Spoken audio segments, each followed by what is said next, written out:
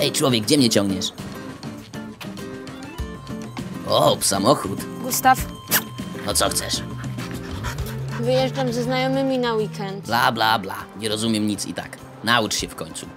Oddaję cię do psiego hotelu. Możesz mnie podrapać po nosie? Ble, ble. Będziesz sobie chillował w pensjonacie jak gwiazda, tak? Serio mnie swędzi. Wiesz, gdzie jeszcze mnie swędzi? No, to chodź. Idź, hop. Za uchem mnie swędzi. A myślałaś, że gdzie?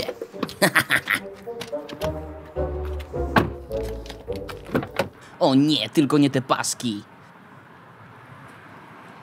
Wycieczka! Yeah!